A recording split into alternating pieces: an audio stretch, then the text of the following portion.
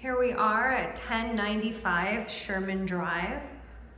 You'll see we've got the kitchen here with newer cabinets, granite countertops, uh, room for a stackable washer and dryer right here. And as you turn around, you can see the rest of the unit. This is the living room area here. You've got a wall heater, newer faux wood blinds, and then you come into the one bedroom here. Everything in really good shape with vinyl flooring plank floors, smooth walls, um, no texture to it, which adds that high-end feel.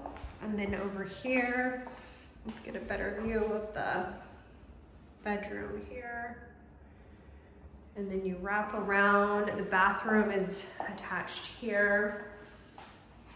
You've got cl mirrored closet doors, here is the bathroom, nice tile wood floors, big window.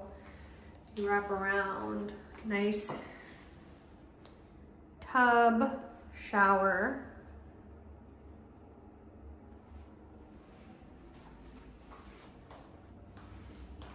And there you have it, 1095 Sherman Drive.